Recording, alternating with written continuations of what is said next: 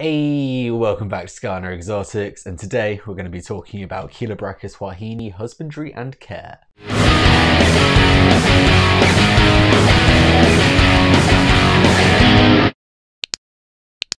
So, you've got yourself a Chilobrachys huahini, and you're thinking, how do I pronounce that word? And you know what? The internet has not helped me at all. Nothing. Zilch. Nada. So until somebody proves me otherwise, I'm putting forward, through an educated path, that it is Huahini, as in Huahini.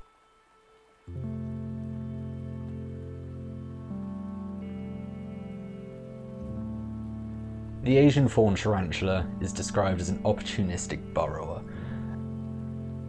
And while I was adamant they were fossorial like my other kilos, these ones have only partially dug to create more of a divot than a burrow, of which they are passionately defensive of.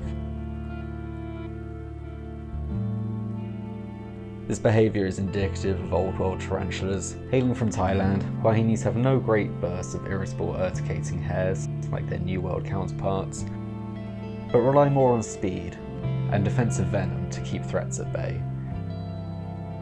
Translation they're not considered as a beginner species by any means.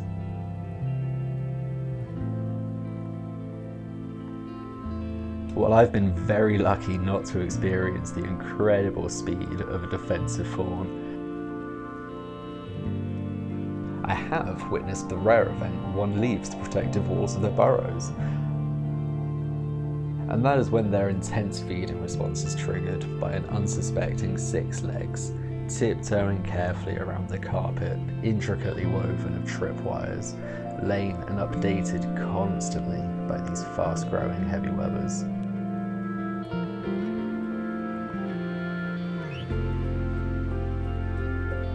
The two that I care for are both adult females, of whom are displaying a beautiful orange-brown tan, or fawn, as the name suggests.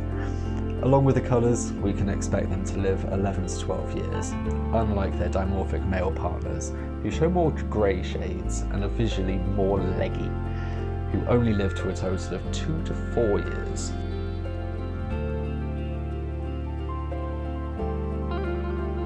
They're not small either, with an average 14 to 15 centimetre leg span. These Goliaths of their realm can fell a fully grown heavily armoured hissing cockroach with ease.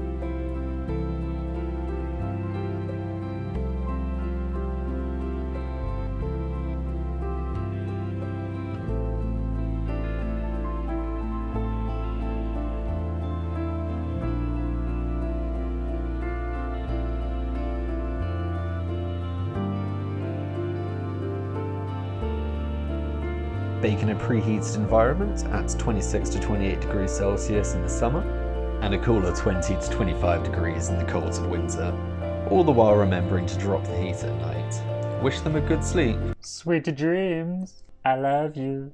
And keep them at a comfortable 70 to 80s humidity.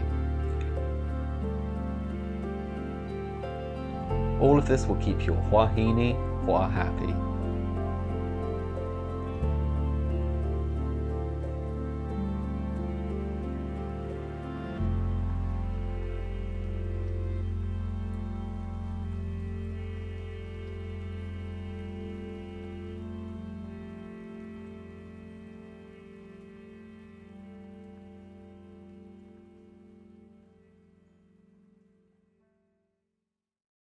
And that's all we have time for. So if you love what you've seen, smash the like button down below. Comment how you say Huahini.